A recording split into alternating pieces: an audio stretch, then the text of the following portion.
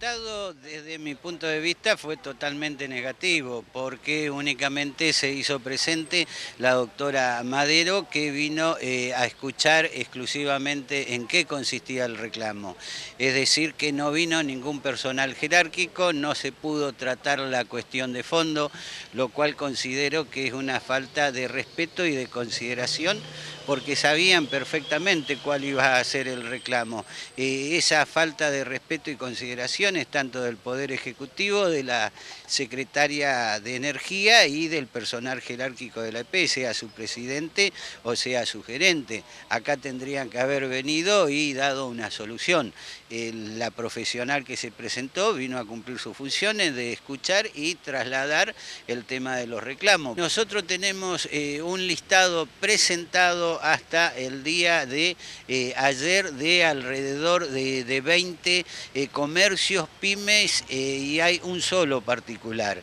Lo, lo, principal no es qué cantidad de empresas o comercios, sino qué cantidad de puestos de trabajo están en juego en esto. Tenemos una panchería, un local de comidas rápidas, acá 9 de julio, casi Oroño. Y bueno, nos empezó a venir 4 mil, 5 mil pesos la, factura. Tuvimos que hacer dos convenios de pago y, llegó un momento que no lo podemos pagar más. Nos encontramos en una situación que no podemos, no podemos afrontar el, tarifazo, digamos. ¿Temen por el cierre del local? Sí, sí, somos siete, personas. Eh, trabajo mi esposa, yo, mi hermano, un tío mío y hace, no, no podemos trabajar, no podemos sustentar más el negocio.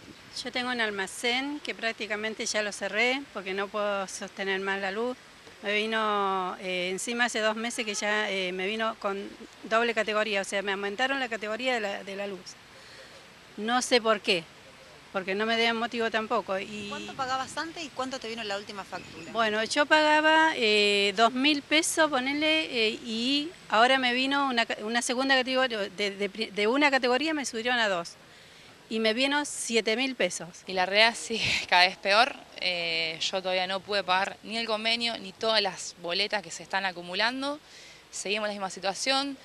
Cada vez eh, estoy bajando más el consumo, estoy apagando más heladera, estoy reduciendo, ya estoy con una heladera de bebida, con una cámara a media, a media, media máquina.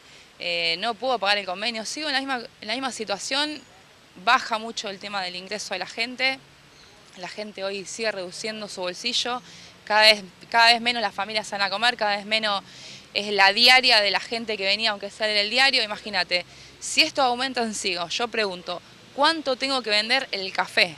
¿Cuánto tengo que vender un menú diario?